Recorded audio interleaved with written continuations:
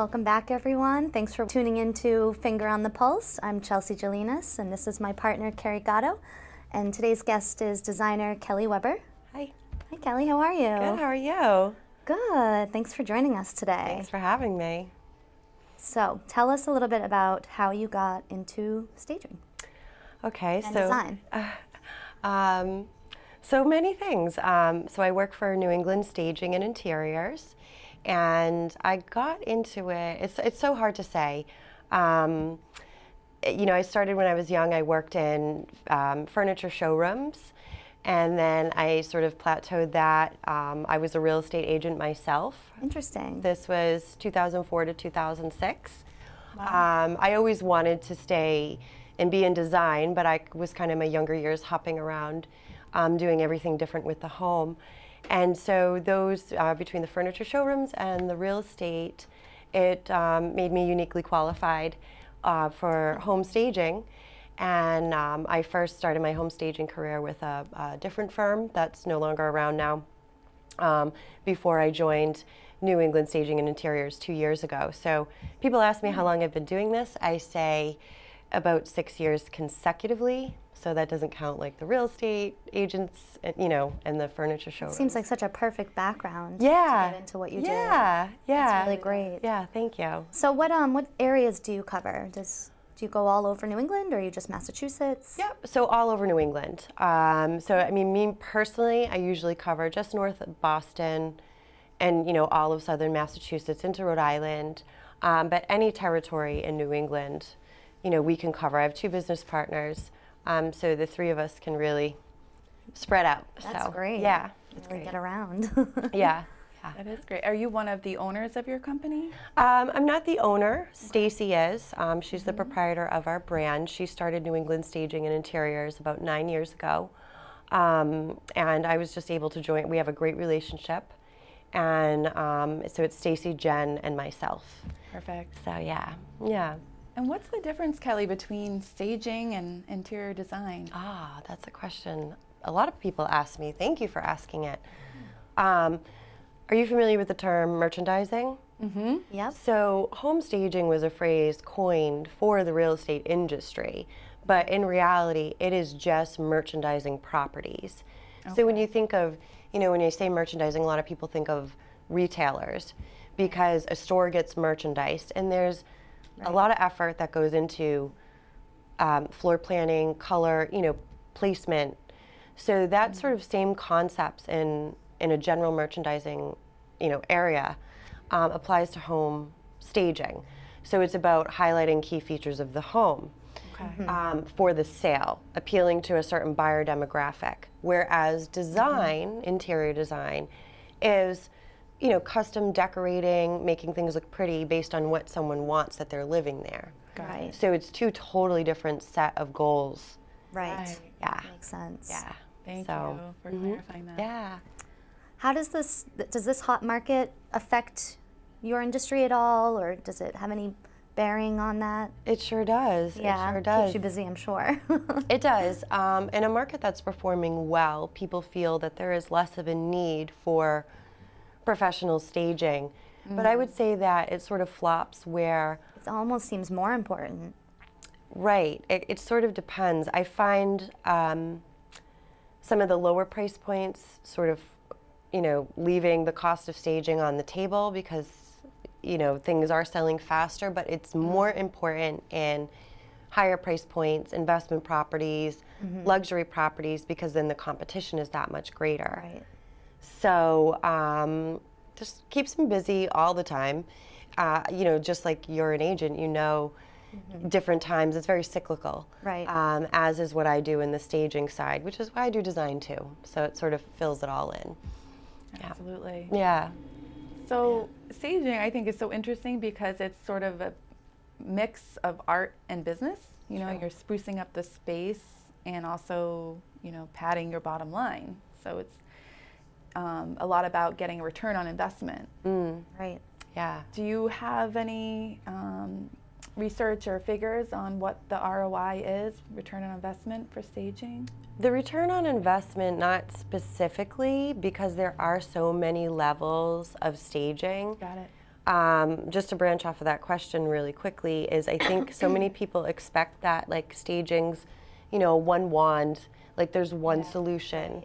Okay. There's not. There's many levels of staging based on what a client wants to invest in, which then, to go back to your question, will affect the return on investment. Do you have Sure. $300? Do you have $5,000? Do you have 10? And where is that going to hit? So, a good statistic I have is typically a staged home, even at the various levels, will sell for 8 to 10% more. Okay. Wow. So, when we look at a property, That is amazing. based on what they're willing to invest, we can sort of figure that out. Um, it's also important to know that staged homes sell about 78% faster. That's a national average. It's different per territory, so I'll, I'll give you national averages here. That's huge. And Yeah. so when we're talking about ROI, carrying costs factor in. Right. So it's not one clear formula. And especially in such a hot market like we're experiencing right now, it's all about selling, you know, quickly to Uh-huh. get your top dollar because you Right. get all that activity up front. Right, right. So Well, I know, meaningful. like the two of you and your team, you're you're really good at pricing it and going over asking. So that's such a good strategy when someone invests in staging. You want to create that buzz, and you know to to drive that up. No, I want it. No, I want it. You know. So yeah, buyers and, and everybody are so visual.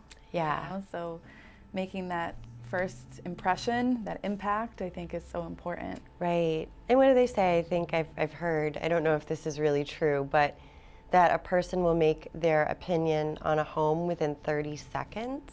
I'm sure. of walking Yeah. in. First impressions are huge. So a lot of what I do is, you know, playing up the positive, downgrading any potential negatives or fixing the negatives and turning those around. So Excellent. Well, speaking of visuals, you brought some to show us, some before and yes, afters. yes. Um, can you talk a little bit about about these as we go through? Yeah, so I did bring a couple just to make sure they're in the right order here. Um, so one of the first projects I brought was this one. We'll call it Chestnut Street. Um, this was a really fun project to work on, and you know I'm glad you asked the ROI question because for this particular client, they were willing to invest in some redecorating, if you will, bringing in some furnishings, Okay. but they didn't, they couldn't go as far as you know repainting. Okay. So we did a lot of playing with what they had, eliminating a lot of the clutter. Um, so you're looking at some before and afters, which I'm sure the audience will see better. Um, but you can see here with the, the living room, this was the before and this is the after. This is actually the great room. And this is, this is true for most people. They tend to push their furniture against the walls and into the corners, Right. which is not always a great use of space. Um, Oh, yeah. Yeah, so it's like it's not that different because in the picture you're looking at the windows, but when you really look at what I'm saying, so we switched some rugs around.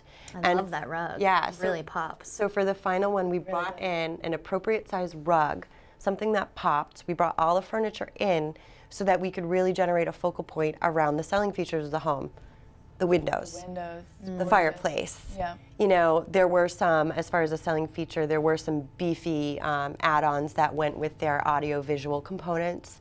So the staging actually highlighted all of that. Same thing in this living room in the before photo. Um, they never really knew how to use this room because the living room was off center. Okay.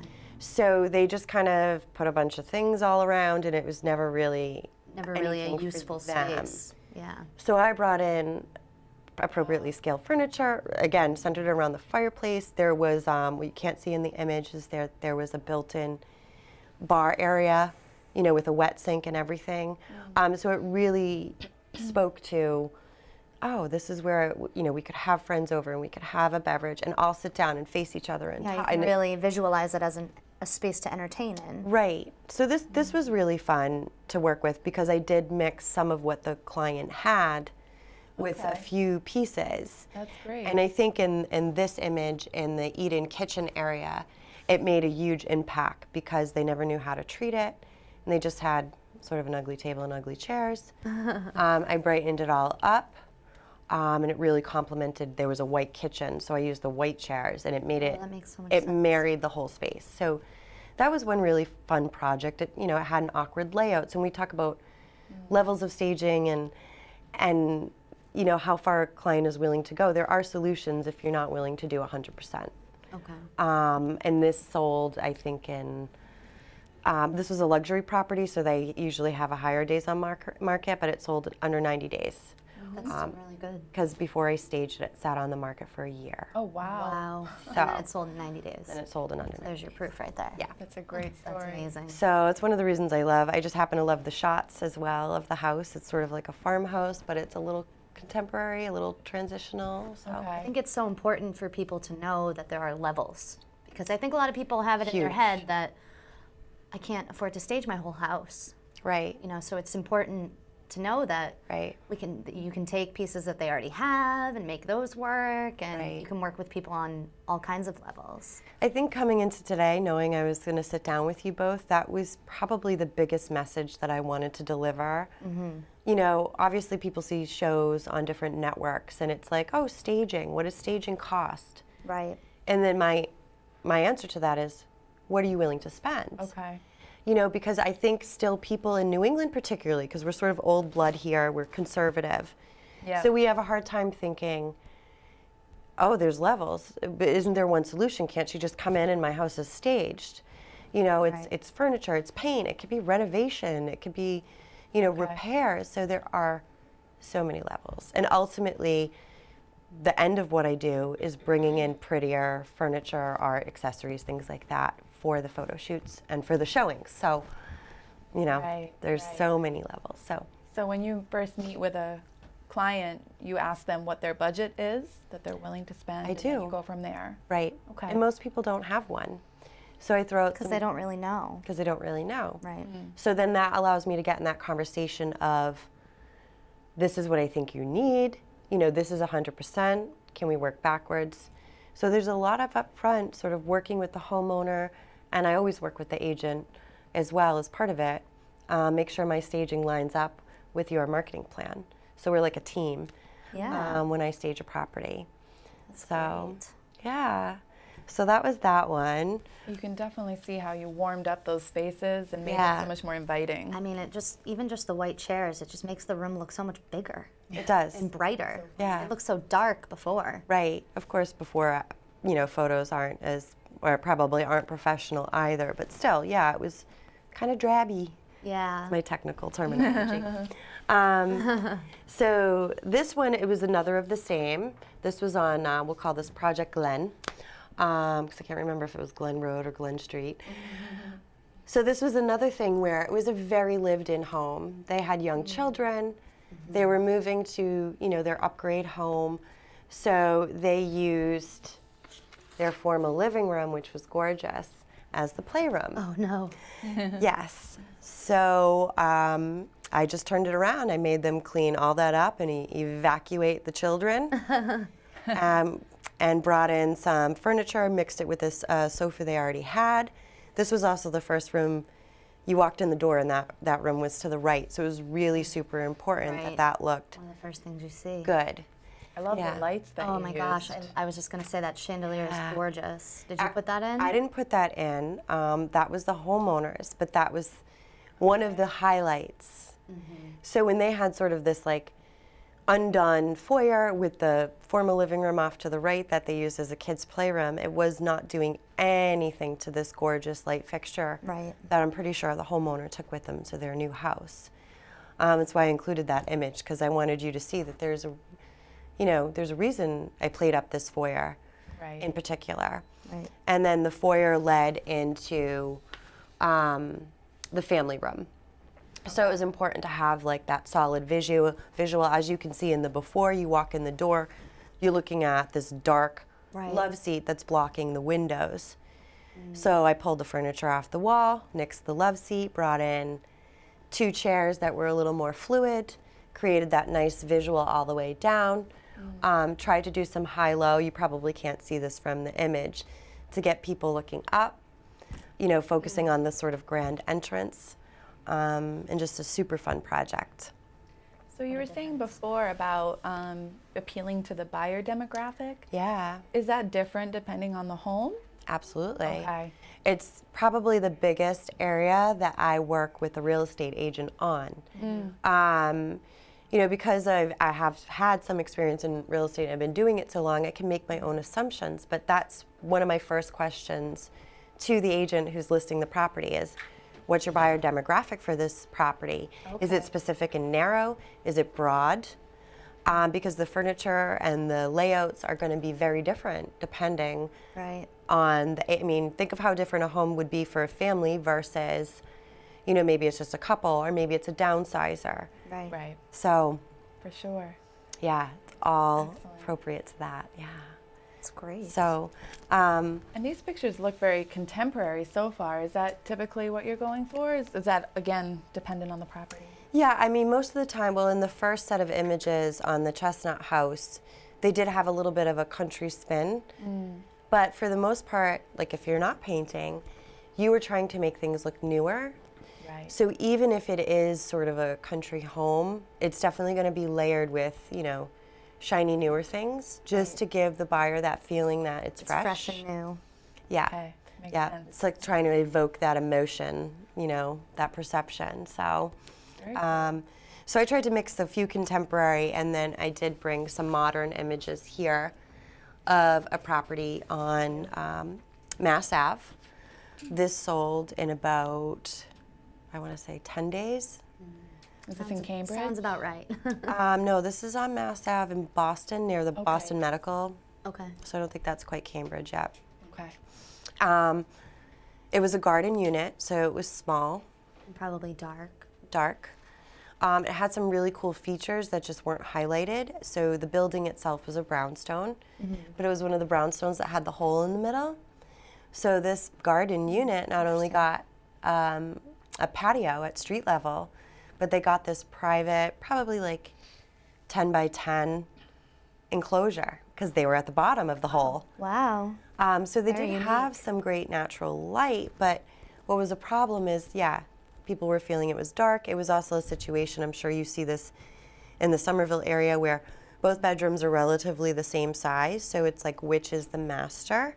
Right. Um, so we played up to the demographic as far as the buyer in this Mass Ave property being, you know, probably a younger couple, no children, Right. you know, probably their first purchase, Right. you know, probably someone who just graduated in one of the colleges. So we did something a little more modern and fun and showed how the layout can really, you know, really work. So that was, I really like that Yeah, I love that artwork. Yeah, just something fun with the lady going shh, you know, over the bed.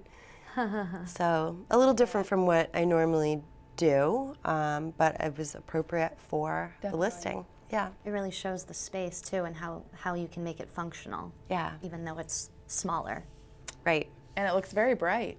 It does. It was very bright, yeah, and we played up, and you know these images weren't great to they translate on TV, but that little hole Okay. in the there was a court. Let's call it the courtyard. Yep. Um, I brought in a series of fresh plants that the realtor took care of throughout the listing process, which wasn't very long. So, um, and I did the same thing on the patio. So when you were actually in the property, as your sight line looked through each of the windows, instead of maybe being distracted by the street level reality of cars being parked, I used bright bushy Plants. plants.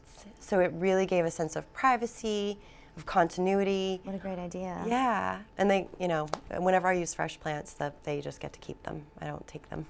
It's Oh, not cool. a prop. I don't. I don't take them back to my staging Yeah. greenhouse after. So, so that that was really It's a nice bonus. Yeah, it was a nice bonus. yeah. But it, it really really helped, especially where the hole in the the building was, you know, a slider and four walls. You know, so we had Right. really fun colors. I used like a y- yellow off of the artwork and orange and red. So. Oh, pretty. Yeah, it was fun, fun. So, but um, the last set of photos, just two simple images, just to kind of give a variety. Um, the reason I included this one um, is I think I wanted to say staging's not always for selling.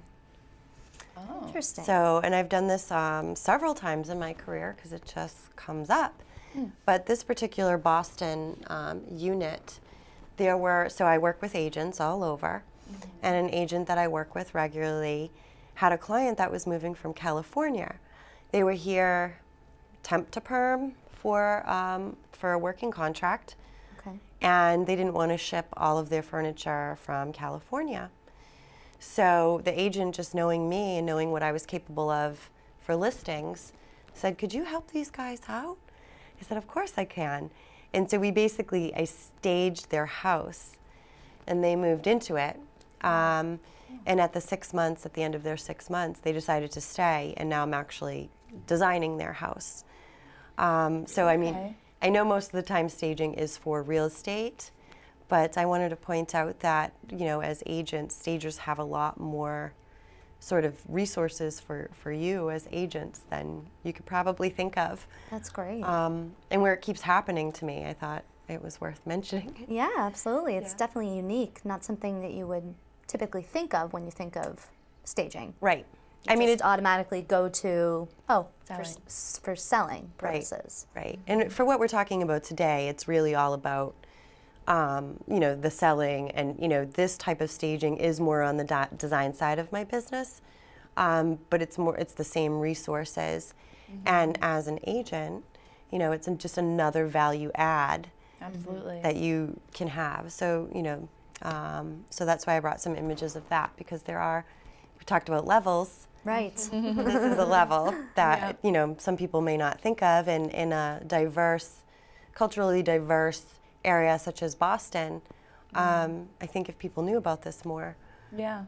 you know it could help It's great that you have that kind of flexibility to work with a consumer, you know, obtain their goals right on their budget. right right and because at the same time if these clients decided not to stay Right. basically their staging plan was already in place right. for a quick Okay. sale Yeah, yeah. you know so it was very full circle So it made sense, made Yes. perfect sense. right right That's great. Yeah, it was like one stop shopping. yeah, yeah. Do So you work a lot with developers? I have. Yeah. Yeah, I think I've worked a lot with everybody at this point. um, That's great. yes, more a few years ago, I did a lot more with developers in like the Brookline area. It seemed like, you know, million dollar home after million dollar home was going up, and I think they've exhausted some of the, the land there, at least for right now. But um, not only would I stage their properties at completion, but I can consult on, you know, layouts, uh, lighting plans, obviously paint, wow. hardware, um, you know, bathroom mirrors. Right. Um, I, I'm sure you as agents, you there, there's sort of this builder grade level Right. of things that everybody sees at the big box retailers. Right. And um, what I would do is just help them step up their game. Doesn't Mm, necessarily need to cost Differentiate more. themselves. Yes. Yeah. Because merchandising, now they're taking that part off of, you know, okay, so they're usually guys, right? and so they're just, you know, buy what's easy. Um, but they really were stepping up their game, getting me involved. Like I said, not necessarily costing them anymore, just finding better um, Helping them to get top dollar. Yes. It really makes a difference what finishes you put in and what's going to appeal to Right. the most amount of people. Right. And of course, if you get into larger projects, I mean, you know, I, ref- I reference single family luxury homes in Brookline, but if you were working in a multi unit condo development, you know, typically you're going to stage a model, Right. but then are they all identical floor plans? Right. You know, and then you get volume discounts on, you know, things like lighting that, you know, I might have better Oh, resources okay. than they do.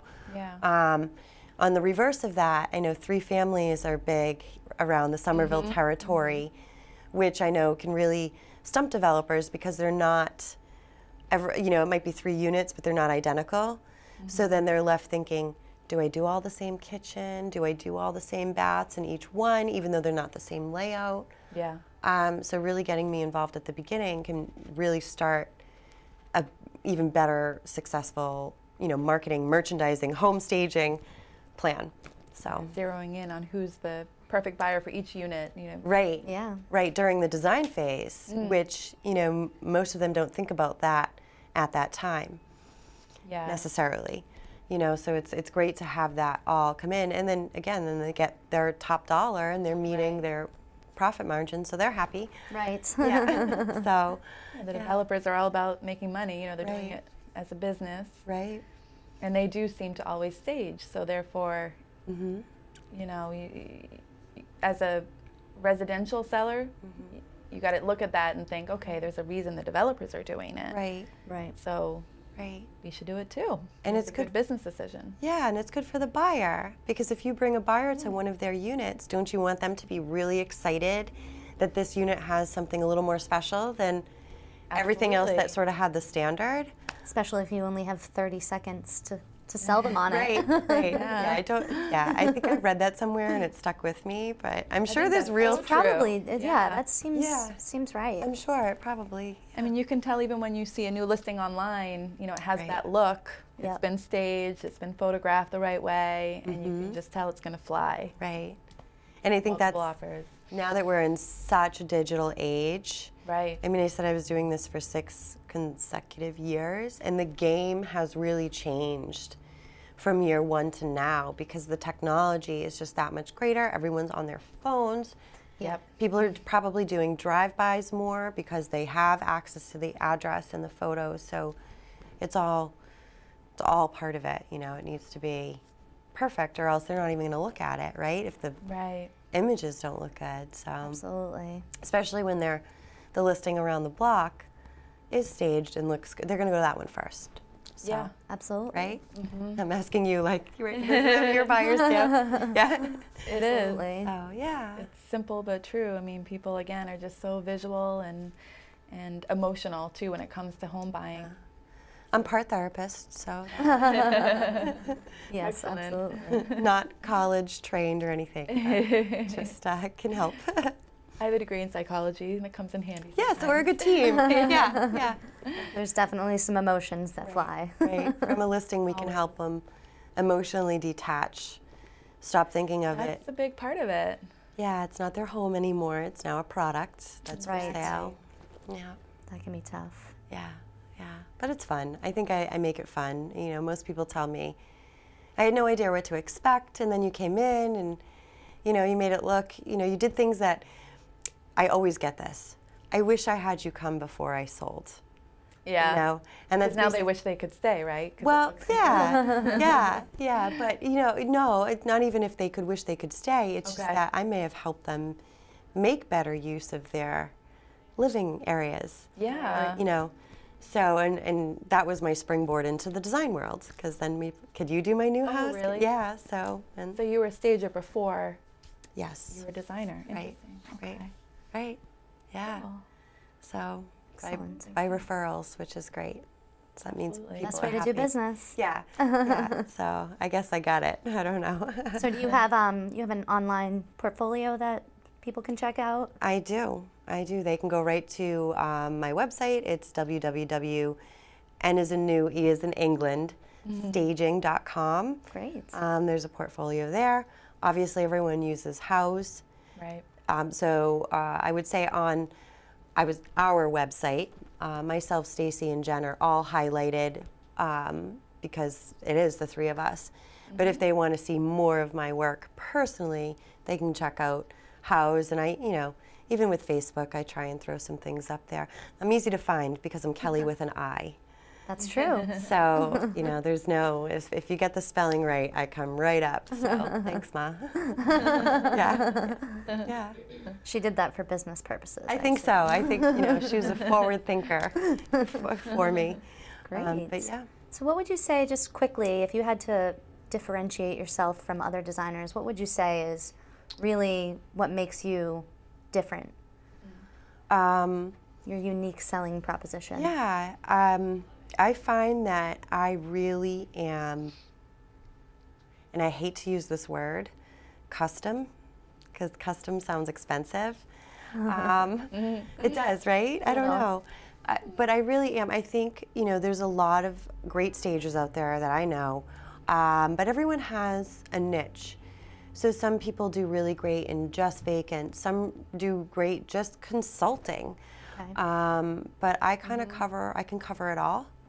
And I think that is because of my background. Um, so I, I, I would just encourage people to, you know, contact me and then, you know, we could take it from there. But custom being, I don't have one approach. I don't have that magic wand for all the properties. Um, every property is different, as you know. Right. Um, so I really go in. I work a lot with the agents, like I said at the beginning, to really focus on the successful sale. And I think just your background in itself is sort of your unique selling proposition. Yeah. Just because you've done it from the sales side, having Right. been an agent. So you understand that whole process Yes. from beginning to end, how it works. So I think Right. that's very unique in itself. And I would think that would be important to a client that you're working with to stage a property for sale. Yeah. I so mean, I think that's great. That's Definitely. I mean, another unique thing, I mean, I feel like, you know, I'm a leader in the staging industry. I've been speaking about staging for, for years. Um, um, I lead uh, the Real Estate Staging Association in Massachusetts, which is, you know, a professional organization of stagers. Great. Um, you know, I like to think that in, in my beginning days when I um, started in staging, I was doing a lot more support work for stagers. Um, so I'd like to say that like I help them in their business um, and, and just help the industry overall. So that's probably That's great. that's probably my unique Yeah. proposition. That's great. Yeah, experience. we're getting close to the end of the Perfect, show. yeah. Um, I just wondered if I could ask you one quick question. Yeah. What What's your favorite part about your job? Oh, it's always installation day. Okay. Okay. It's that you know whether whether someone did bite the bullet and do painting and all and, and maybe renovation that all happens before, but then there's that one day where we bring in the accessories. and everything comes together. Yeah, and it's just like by sundown that day, That's exciting. it's it's the it's it's everything you wanted. so that's great. my The favorite big part. reveal. Yeah, yeah. and I work with some people, and and um, one of them said to me the other day, "Are you ever unhappy?" and I'm like, "It's staging day, like it's installation day. How can I be unhappy? Everything's about to come together." so that's my favorite part. That's Awesome. awesome. Yeah. Well, Kelli, thank you so much for you for joining us. This was me. Yeah. great. Good. Really So much enjoyed fun this. to have you. Thank yeah. you. Appreciate it. Thanks for having me. It's course. always Got fun to talk about what I do. Awesome. Well, we'll see you out there. Sounds good.